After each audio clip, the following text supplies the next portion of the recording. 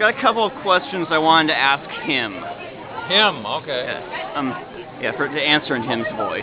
Okay. Yeah, um, I wonder, I wondered, um, I know that people are afraid to call you by your real name. How did you react when people started doing that?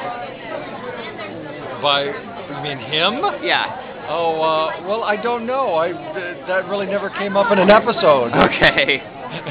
Okay, another que- yeah, another question I wanted to ask him. Okay. What is your real name? Uh, well, he, he doesn't really have a name.